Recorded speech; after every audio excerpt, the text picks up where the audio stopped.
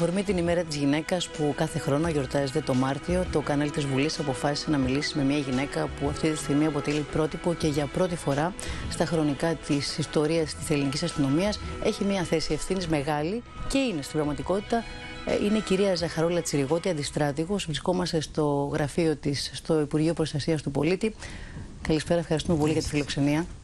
Κυρία Τσιριγότη, ε, περιμένατε όταν αποφυτίσατε το 83 από την ε, Σχολή Αστυνομίας Πόλεων ότι σήμερα θα βρεθείτε σε αυτή τη θέση, μια θέση μοναδική. Δεν υπάρχει άλλη γυναίκα που να έχει κατακτήσει αυτή τη θέση ε, και που έχει διαχειριστεί και ένα μεγάλο θέμα, επικρατεί αυτή τη στιγμή αυτό το θέμα σε όλη την Ευρώπη, την προσφυγική, τις προσφυγικές δροές να το πω, όχι κρίση.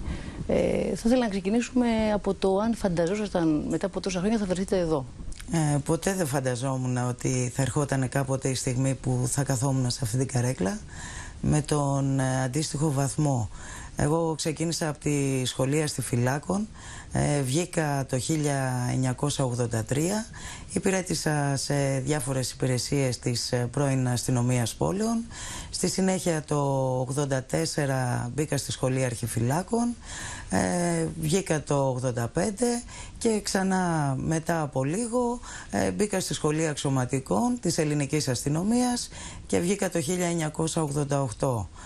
Ε, σαφώς ε, βγαίνοντας από τη σχολή αξιωματικών ε, βέβαια ποτέ δεν φανταζόμουν ότι θα φτάσω εδώ αλλά ήξερα ότι μέχρι και το βαθμό του αστυνομικού διευθυντή όπως ε, πάνε ε, συνήθως οι κρίσεις θα έφτανα. Αλλά στο βαθμό του αντιστρατήγου ποτέ ήταν ασύλληπτο ε, να το κάνεις ιδιαίτερα εκείνη την εποχή αυτό το όνειρο. Τι ήταν, πιστεύετε, αν μπορούσατε να κρίνετε τον εαυτό σας; Το, τα, τι είναι τα στοιχεία που έχετε, τα χαρακτηριστικά που έχετε εσείς και έχετε ε, ξεχωρίσει. Γιατί χρειάζονται κάποια χαρακτηριστικά για να ξεχωρίσει μια γυναίκα σε ένα καθαρά ανδροκρατούμενο περιβάλλον, πολύ αυστηρό, με πολύ πιεστικές συνθήκες, γιατί έχετε υπάρξει και σε επιτελικές θέσεις και σε μάχημες.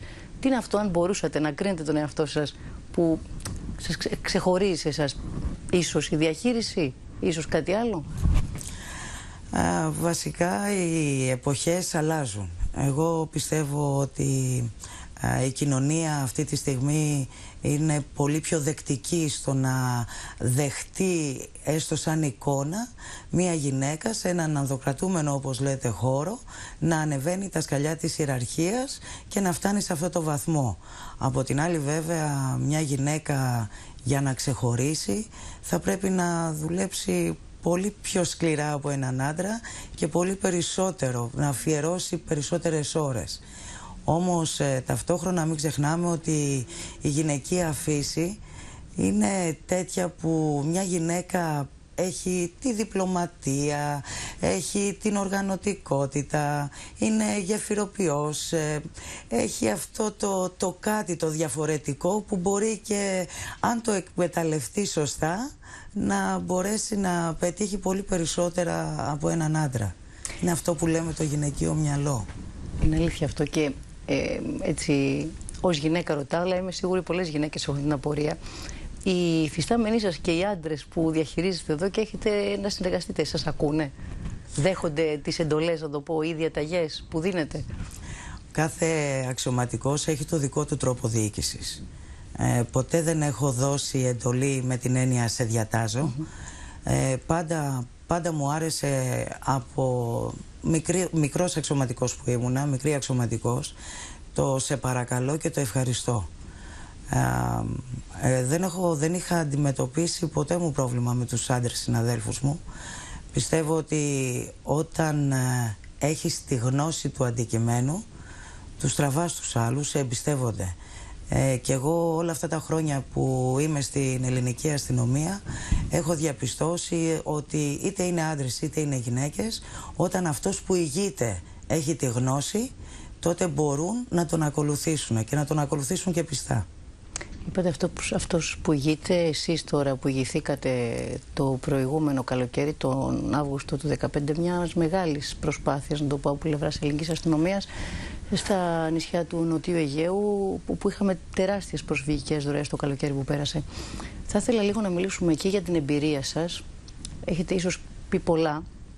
Θα ήθελα ε, κάποιες στιγμές που σας έχουν χαραχθεί στο μυαλό ευχάριστες ή δυσάρεστες ενδεχομένως να μας τις μεταφέρετε και σε δεύτερο έτσι, σκέλος ερώτησης έχουμε διαχειριστεί μέχρι τώρα σωστά αυτή την κρίση; Α, το 2015 ήταν μια πάρα πολύ δύσκολη χρονιά όχι μόνο για την ελληνική αστυνομία ε, και για το λιμενικό και για την ίδια την πολιτεία. Η Ελλάδα άντεξε στους ώμους της ένα τεράστιο βάρος ε, χωρίς την ανάλογη βοήθεια από την Ευρωπαϊκή Ένωση.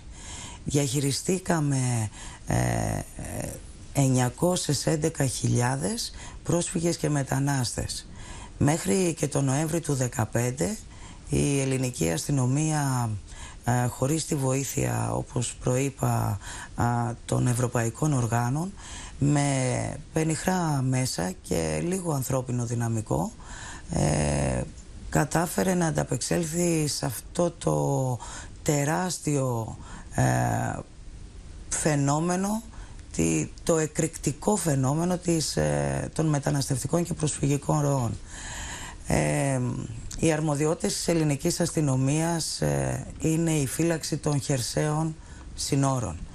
Και βέβαια η διαχείριση από τη στιγμή που μπαίνουν από τα θαλάσσια σύνορα, η διαχείριση από εκεί και ύστερα των ε, ανθρώπων αυτών.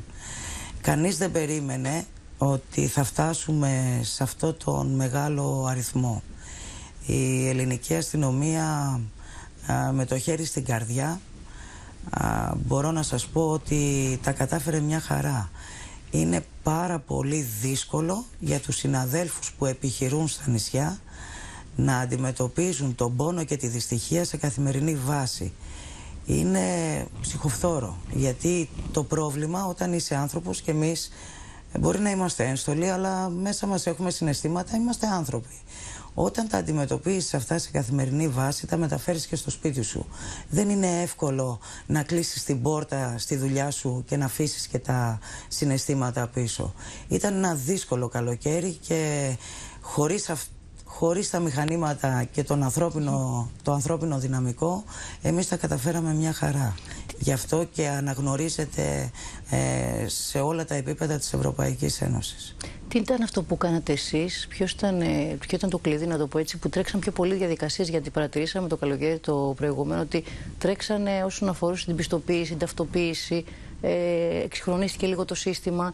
Τι ακριβώς είχατε αναλάβει εκείνη την περίοδο όσον αφορά το κομμάτι να ε, ε, γίνονται πιο γρήγορα όλες οι διαδικασίες για αυτούς τους ανθρώπους που ήταν εκεί εγκλωβισμένοι και ταλαιπωρημένοι; Η προσπάθεια που έγινε ήταν συλλογική. Ποτέ κανείς δεν πετυχαίνει κάτι μόνος του. Ε, απλώς κάποιος ηγείται όπως είπαμε πριν. Εγώ ας πούμε είχα το γενικό πρόσταγμα. Ε, για μένα ήταν πάρα πολύ σημαντικό η οργάνωση και ο συντονισμός. Γι' αυτό και στην ΚΟ και στη Μυτιλίνη που αντιμετωπίσαμε τα μεγάλα νούμερα των 7.000 στην ΚΟ ε, και των 25.000 στη Μυτιλίνη ήταν ότι όλοι μηδενός εξαιρουμένου, είτε λέγεται αστυνομία, είτε λέγεται λιμενικό, είτε λέγεται δήμος, περιφέρεια, ΜΚΟ, είπατε αρμοστία, όλοι μα όλοι συντονίστηκαν και πρόσφεραν αυτό που έπρεπε να προσφέρουν. Απλώς κάποιος έπρεπε να ήταν μπροστά να μοιράζει τις αρμοδιότητες, να ελέγχει, να συντονίζει, να παρακολουθεί για να μπορέσουν οι διαδικασίες να γίνονται γρήγορα. Κακά τα ψέματα το να, εγκλωβίζονται, ε, τόσο, να εγκλωβίζεται τόσος κόσμος στα νησιά δεν είναι και ό,τι καλύτερο. Ε, ευτυχώς οι Έλληνες επειδή ξέρουν από, από προσφυγιά ε, το αντιμετώπισαν ε, όλοι οι κάτοικοι των νησιών με αξιοπρέπεια και όλοι πρόσφεραν βοήθεια από την ελάχιστη μέχρι την πιο μεγάλη. Και τους αξίζει ένα μεγάλο ευχαριστώ και ένα μεγάλο μπράβο. Το πρόβλημα πια έφυγε από τα νησιά και ήρθε στην κεντρική, ε, στις κεντρικές πόλεις, σε μεγάλες πόλεις, στην Αθήνα, στον Πειραιά. Εκεί λοιπόν υπήρξε μια αποκλιμάκωση, ωστόσο, γιατί πιστεύετε ότι οι κάτοικοι κάποιων νησιών αντέδρασαν στο να δημιουργηθούν χώροι υποδοχής, ενώ έχουν ζήσει από κοντά όλο αυτό το δράμα των ανθρώπων και τον αγώνα επιβίωσής τους και να βγουν από τη θάλασσα τελικά και να δουν πώς μπορούν να επιβιώσουν όσο μένουν ε, στα νησιά. Γιατί υπήρχαν έτσι αντιδράσεις και φωνές που δεν ήθελαν αυτούς τους χώρους φιλοξενίας; Ξέρετε, καμιά φορά ε, βασικά όλοι οι άνθρωποι δεν σκέφτονται το ίδιο και καμιά φορά υπάρχουν άνθρωποι που νομίζουν ότι εάν δεν αντιδράσουν ή αν δεν το δεχτούν θα φύγει και το πρόβλημα. Καμιά φορά δεν υπάρχει και η σωστή ενημέρωση. Ε, ενδεχομένως θέλαν περισσότερες εγγυήσεις. Συνήθως αυτές τις μικρές ε, κοινωνίες των νησιών ε, υπάρχουν αντιδράσεις. Ε, εντάξει, είναι συνηθισμένο, συνηθισμένο αυτό. Τώρα ε, οι εργασίες ε, στο κέντρο καταγραφής ε, και ταυτοποίησης ολοκληρώνονται και έτσι προχωράμε χωρίς να υπάρχει ιδιαίτερο πρόβλημα. Τώρα η όγκος των προσφύγων που έφταναν στα νησιά έχει μειωθεί και λέω έχει μειωθεί ίσως λόγω καιρικών φαινομένων που είναι πιο τεταμένα αλλά έχει μειωθεί διότι έχουν περάσει πια έχουν έρθει κέντρο, έχουν κατέβει στην Αθήνα, έχουν κατέβει σε, κατέβει σε άλλες πόλεις της ε, χώρας, έχουν ξανέβει ε, στην Ιδωμένη, έχει κάπως απλωθεί ο πληθυσμός; Το, το πρόβλημα ξεκινάει πάντα από τα νησιά, από το Βόρειο και το Νότιο Αιγαίο. Το μεγαλύτερο ποσοστό ροών το αντιμετωπίζουμε στη Λέσβο. Ε, μειώνεται, εξαρτάται από τον καιρό. Ε, δεν μπορούμε να είμαστε σίγουροι ότι θα σταματήσει.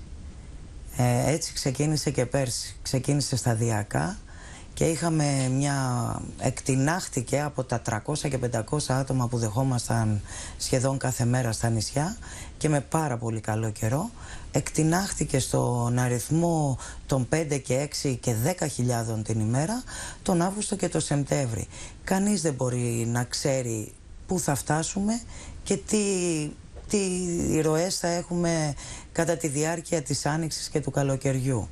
Ε, όσοι ταυτοποιούνται, καταγράφονται και ταυτοποιούνται και ολοκληρώνεται η διαδικασία τους στα νησιά, έρχονται στην υπηρετική Ελλάδα. Τα σύνορα στην Ιδωμένη έκλεισαν. Ε, αυτό είναι ένα αρκετά μεγάλο πρόβλημα. Πιστεύω ότι θα α, σταματήσουμε να βλέπουμε αυτές τις άσχημες και στενάχωρες σκηνές της Ιδωμένης όταν ολοκληρωθούν τα κέντρα φιλοξενίας που το Υπουργείο Εθνικής Άμυνας έχει αναλάβει να, να φτιάξει, να κατασκευάσει. Ε, θα έχουμε ζητήσει ήδη τη συνεργασία όλων για να μπορέσουμε να τους μεταφέρουμε σταδιακά σε αυτά τα κέντρα φιλοξενίας. Ε, τώρα η ελληνική αστυνομία έχει ως ε, ένα εργαλείο για να αποτρέπει τις, ε, ε, τους οικονομικούς μετανάστες και το μοναδικό εργαλείο που έχει στα χέρια της είναι οι επανεισδοχές.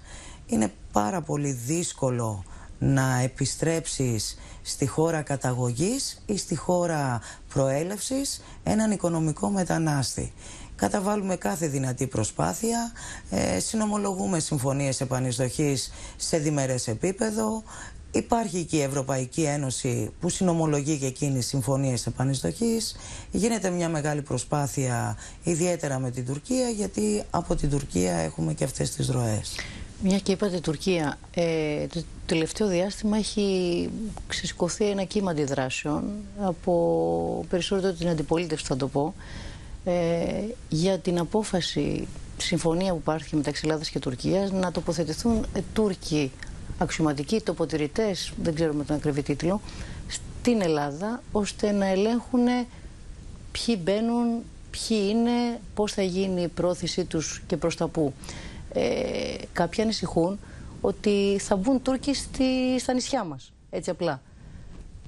Τι ακριβώς συμβαίνει; Ναι, ε, Καταρχήν θα, θα πρέπει να ξέρουμε ότι στο διμερές ε, πρωτόκολλο επανεισδοχής Ελλάδος-Τουρκίας προβλέπεται η απλουστευμένη διαδικασία επανεισδοχής. Η απλουστευμένη διαδικασία επανεισδοχής είναι για τους συλληφθέντες στα σύνορα. Ε, και όταν λέω συλληφθέντες, ε, γνωρίζουμε όλοι το ότι σύμφωνα με την εθνική νομοθεσία, όποιος εισέρχεται από μη θεσμοθετημένο σημείο ελέγχου εισόδου-εξόδου, παράνομα δηλαδή, ε, διαπράττει ποινικό αδίκημα. Ε, συλλαμβάνονται όλοι όσοι εισέρχονται παράνομα στη χώρα και ο εισαγγελέας είναι αυτός που αποδίδει ενδεχομένως ποινές ή απαλλάσσει από την κατηγορία τους ε, μετανάστες ή τους πρόσφυγες. 100% ο εισαγγελέας έτσι ενημερωτικά ε, ποτέ δεν ε, αποδίδει κατηγορίες ε, μετανάστες. Η απλουστευμένη λοιπόν διαδικασία προβλέπει ότι το συμβαλόμενο μέρος, η Ελλάδα ας πούμε, όταν θέλει να κάνει ένα αίτημα επανεισδοχής να επιστρέψει οικονομικούς μετανάστες στην Τουρκία έχει δικαίωμα να το κάνει μέσα σε 14 μέρες από την ημερομηνία σύλληψης. Η ΔΕ Τουρκία έχει, είναι υποχρεωμένη να απαντήσει σε 7 μέρες και να ολοκληρώσει και τη διαδικασία. Είτε βέβαια είναι θετικό το αποτέλεσμα είτε αρνητικό. Να απαντήσει ότι δέχεται. Ναι. 14 και 7, 21 μέρες. 21 μέρες λοιπόν πρέπει να έχεις τον αλλοδαπό, τον οικονομικό μετανάστη σε κράτηση στα προαναχωρησιακά κέντρα της ελληνικής αστυνομίας. Η συμφωνία, το Memorandum of Intent που, που υπέγραψαν οι δύο υπουργοί, καθώς και η κοινή δήλωση που υπεγράφει μεταξύ των πρωθυπουργών ε, των δύο χωρών, προβλέπει μια διαδικασία γρήγορη, μια fast track διαδικασία. Τι σημαίνει αυτό; Σημαίνει ότι εμείς σαν χώρα είμαστε υποχρεωμένοι να στείλουμε το αίτημα επανεισδοχής σε 48 ώρες, να απαντήσουν σε 48 ώρες οι Τούρκοι και να ολοκληρωθεί η διαδικασία σε 7 μέρες. Συνολικά που σημαίνει από τις 21 μέρες που, ήταν, ε, που προβλέπεται από το πρωτόκολλο να το περιορίσουμε στις 7 έτσι ώστε να κερδίσουμε και εμείς χρόνο και να μην ε, κρατάμε τους ε, μετανάστες, τους οικονομικούς μετανάστες πολύ περισσότερες μέρες από ό,τι πρέπει. Ε, καλό είναι να γνωρίζετε ότι ε, μέχρι σήμερα η Τουρκία δεν απάνταγε στο 7 ήμερο. Περνάγανε μήνες και ένας και δύο μήνες και τρεις τώρα μήνες. Τι θα αλλάξει; Μέχρι τώρα απαντά. Ε, αυτό προσδοκούμε και εμείς και επιθυμούμε να απαντά στο 7ήμερο και να ολοκληρώνεται η διαδικασία μέσα στο 7ήμερο. Και πάω τώρα στο Τούρκο τον αστυνομικό σύνδεσμο που νομίζω ενδιαφέρει και περισσότερο. Ε, ο θεσμός του αστυνομικού συνδέσμου είναι ένας ε, θεσμός παγκοσμίως γνωστός. Όλες οι αστυνομίες όλων των χωρών επικοινωνούν μεταξύ τους μέσω θεσμοθετημένων καναλιών. Αυτά τα κανάλια, οι θεσμοθετημένοι διάβλοι επικοινωνίας, διέπονται από κανόνες και κανονισμούς. Ένας θεσμοθετημένος διάβλος επικοινωνίας είναι και αυτός του αστυνομικού συνδέσμου. Ο αστυνομικός σύνδεσμος είτε προβλέπεται σε διμερή, σε διμερή συμφωνία αστυνομικής συνεργασίας ή γίνεται αποδεκτός από τη χώρα με ανταλλαγή ρηματικών διακοινώσεων. Η χώρα μας έχει σε αρκετές χώρες αστυνομικούς συνδέσμους. Όπως και εμείς εδώ στην Αθήνα έχουμε αστυνομικούς συνδέσμους από άλλες χώρες. Ο συγκεκριμένος, ο Τούρκος ο αστυνομικός σύνδεσμος θα έχει συμβουλευτικό ρόλο, όχι επιχειρησιακό, θα κάθεται στο γραφείο του και θα αναφέρει στη χώρα του αριθμητικά τα αιτήματα επανεισδοχής που κάνουμε εμείς. Είναι ο διάβλος επικοινωνίας εκείνος που θα διευκολύνει την επικοινωνία των δικών μας υπηρεσιών με τις τουρκικές. Γιατί για μας θα είναι ένας μοχλός πίεσης προς την Τουρκία επειδή θα έχουμε τον αστυνομικό σύνδεσμο μαζί μας. Δεν θα δουλεύει μαζί μας στο ίδιο γραφείο, θα έχει ένα γραφείο, θα κάθεται και από εκεί θα κάνει όλες τις συνεννοήσεις με την Τουρκία. Δεν είναι ούτε τοποπαρατηρητής, ούτε θα έχουμε κάποιον για να βλέπει τι κάνουμε εμείς. Όταν λέτε αστυνομικός σύνθεσμο, θα είναι αξιωματικός, Τούρκος αξιωματικός ή μπορεί να είναι ένα διοικητικό προσωπικό, ένας υπάλληλος, το πούμε, της. Ε, μπορεί να είναι και υπάλληλος. Γιατί για μας ε, τα θέματα μετανάστευσης ε, τα έχουν οι αστυνομικοί. Για την Τουρκία υπάρχει το αντίστοιχο Υπουργείο και η Διεύθυνση Μετανάστευσης. Μπορεί να είναι και υπάλληλος. Εγώ θα τον χαρακτήριζα γραφιάς για να καταλάβει ο κόσμος γιατί ακριβώς μιλάμε. Είναι όμως ένας ε, θεσμοθετημένος διάβλος επικοινωνίας. Και θα σας πω και το εξής. Το 2001 τέθηκε σε ισχύ η Συμφωνία Αστυνομικής Συνεργασίας μεταξύ Ελλάδας-Τουρκίας. Από το 2002 η χώρα μας έχει αστυνομικό σύνδεσμο στην Άγκυρα. Εμείς έχουμε λοιπόν... Εμείς έχουμε, από το 2002. Ο, η ανταλλαγή των αστυνομικών συνδέσμων γίνεται στο πλαίσιο της αμοιβαιότητας Από τη στιγμή που έχουμε εμείς την Άγκυρα, θα έπρεπε να έχουν και οι Τούρκοι στην Αθήνα. Δεν τον τοποθετήσανε από το 2002, τον τοποθετήσανε πριν από τέσσερα χρόνια. Εάν θα τοποθετήσουν κάποιον στα νησιά μας οι Τούρκοι, γιατί δεν ξέρουμε αν θα έρθει κιόλας, να είστε σίγουροι ότι θα, θα τοποθετήσουμε κι εμείς αντίστοιχα κάποιον στα τουρκικά παράλια. Θα σας πω ένα παράδειγμα. Έχουμε αστυνομικό σύνδεσμο στα Σκόπια που ενδεχομένως να μην το ξέρει ο πολύς ο κόσμος. Σας πληροφορώ ότι ευτυχώς που έχουμε τον αστυνομικό σύνδεσμο εκεί. Έχει διευκολύνει κατά πολύ τη συνεργασία μας με αυτές τις υπηρεσίες τις αντίστοιχες και ιδιαίτερα τώρα με το πρόβλημα που αντιμετωπίζουμε στην Ιδωμένη ε, έχει φανεί πολύ χρήσιμος.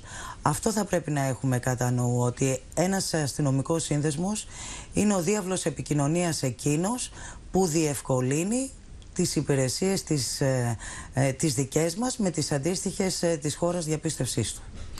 Μια και λέτε για τα Σκόπια. Εκεί στην Ιδωμένη η κατάσταση είναι αφόρητη και ήθελα να ρωτήσω οι πρόσφυγες έχουν ένα τρόπο ενημέρωσης όταν φτάνουν πια στην Ελλάδα; Γιατί το θέμα ότι τα, τα σύνορα έχουν κλείσει στην Ιδωμένη και δεν περνάει τίποτα είναι γνωστό πολύ καιρό ενημερώνονται από κάπου επίσημα να μην ξεκινήσουν το ταξίδι προς τα πάνω με σκοπό να περάσουν τα σύνορα και να βρεθούν σε άλλες ευρωπαϊκές χώρες. Υπάρχει μία συνεργασία μαζί τους, ακούνε; Δεν, δεν μπορεί από την ελληνική πλευρά να γίνει κάτι; Ε, είχαμε ακούσει και για τα φυλάδια που βγήκαν το προηγούμενο διάστημα ενημέρωσης. Αλλά φαίνεται πως παραμένουν εκεί.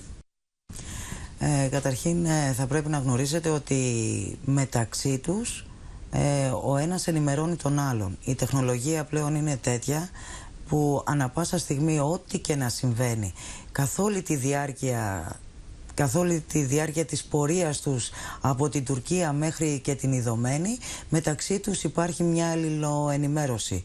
Υπάρχουν sites συγκεκριμένα που χρησιμοποιούν για ανταλλαγή έτσι, ε, ενημερωτικών πληροφοριών.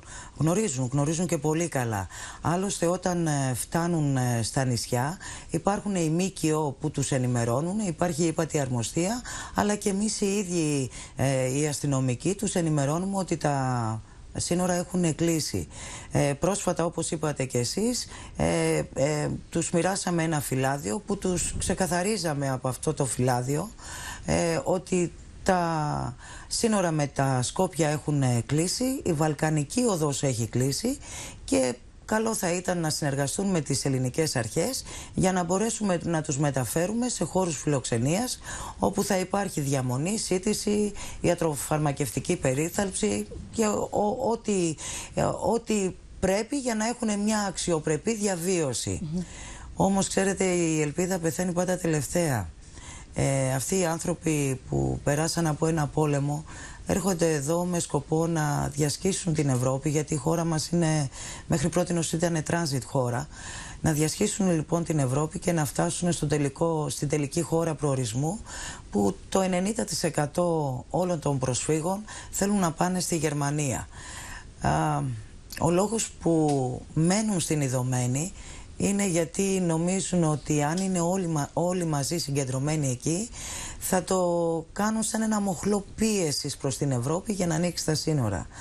Απ' την άλλη πιστεύουν ότι 17 και 18 που είναι η σύνοδος κορυφής κάτι θα γίνει, κάτι μπορεί να αλλάξει για αυτούς. Ε, πιστεύουν σε μια θετική απόφαση της Ευρώπης ότι θα ανοίξει πάλι τα σύνορα. Δεν, ε, δεν φεύγουν από εκεί, δεν χάνουν την ελπίδα τους.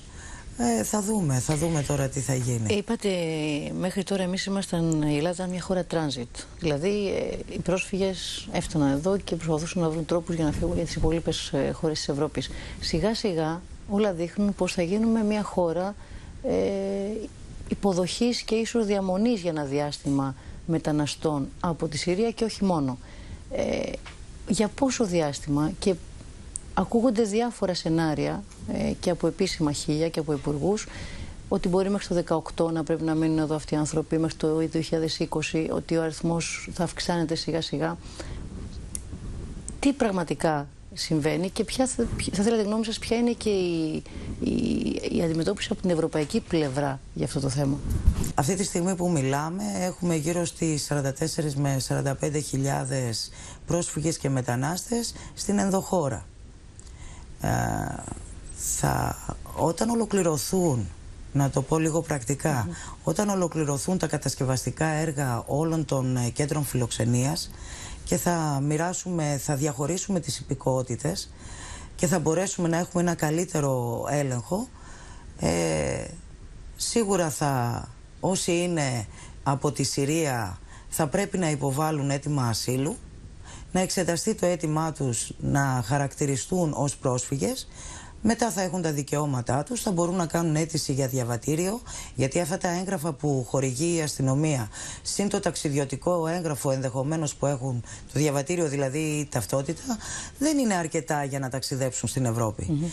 Ε, από τη στιγμή που εξεταστεί το αίτημα ασύλου τους και χαρακτηριστούν ως πρόσφυγες, τότε έχουν δικαίωμα να υποβάλουν και ένα αίτημα για να τους χορηγηθεί ένα λεσεπασέ στο, στο εξάμεινο παραμονής τους στη χώρα μας θα έχουν το δικαίωμα τους τρεις μήνες να πηγαίνουν στην Ευρώπη νομότυπα.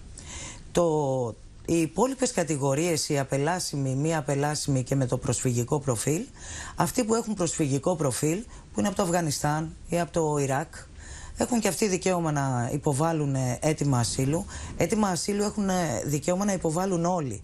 Έτσι. Απλώς όμως ε, από το Αφγανιστάν και από το Ιράκ υπάρχουν μεγάλα ποσοστά που προέρχονται από πόλεις τέτοιες που μπορούν να χαρακτηριστούν ως πρόσφυγες. Αυτό βέβαια όλα αυτά τα αιτήματα τα, τα εξετάζει η Υπηρεσία Ασύλου του Υπουργείου Μεταναστευτικής Πολιτικής.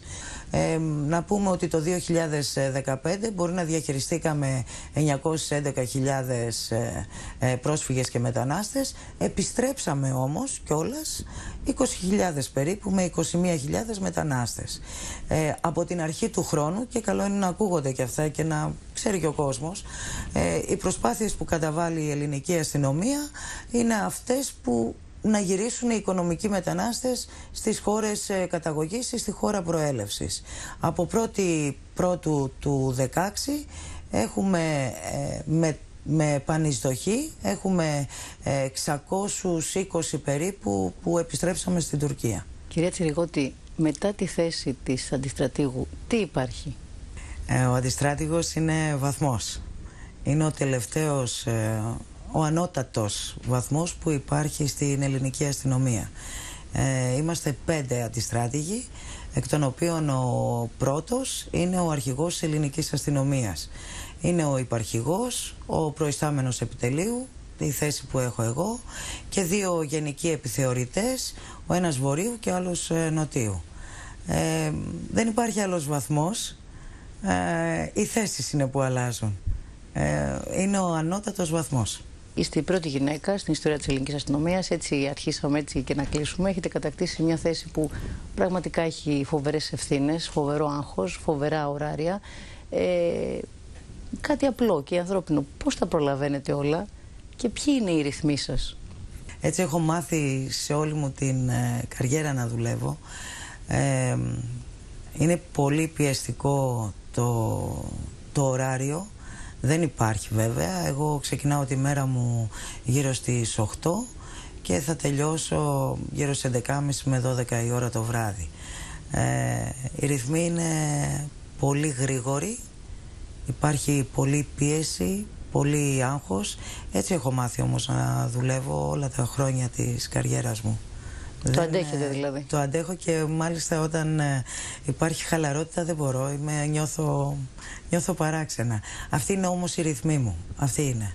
Ποια είναι η θέση της σημερινής γυναίκας, στη σημερινή κοινωνία με τις ανάγκες και τις απαιτήσεις που έχει; Είτε είναι μητέρα, είτε είναι επαγγελματίας, είτε είναι νοικοκυρά; Δεν θα το πω επάγγελμα, εγώ θα το πω λειτουργήμα γιατί όλα μου τα χρόνια έτσι έχω μάθει να το αποκαλώ γιατί το, ο αστυνομικός είναι ένα λειτουργήμα. Η ελληνική αστυνομία έχει, έχει καταφέρει με, τη, με τα χρόνια να, να είναι πραγματικά να έχει κρατήσει τις αποστάσεις και να έχει την, ε, ε, την ισότητα στην ελληνική αστυνομία. Ε, κατήργησε το, την ποσόστοση. Σας λέω ένα απλό παράδειγμα. Ε, κάποτε οι, οι γυναίκες μπαίνανε, ήταν το 10% ε, στους διαγωνισμούς που γινόντουσαν για να, να προσλάβουν αστυνομικούς. Αυτό το κατήργησε. Ε, προσπαθεί με κάθε τρόπο να διευκολύνει ε, γιατί ο ρόλος της γυναίκας δεν είναι μόνο η δουλειά της. Ε, σαφώς η γυναίκα είναι και μάνα, ε, είναι και σύντροφος, ε, είναι πολύ περισσότερα από ένας άντρας. Όμως ταυτόχρονα μια γυναίκα θα πρέπει να ξέρει ότι έχει και τα δικαιώματά της και τις υποχρεώσεις της. Ε, όταν θέλουμε να έχουμε ίσα δικαιώματα ε, με τους άντρες συναδέλφους μας θα πρέπει και εμείς να ανταποκρινόμαστε σε όλα τα α, καλέσματα της ε, υπηρεσιακής μας ε, δουλειάς. Ε, πιστεύω ότι έχει κάνει πολλά βήματα η ελληνική αστυνομία.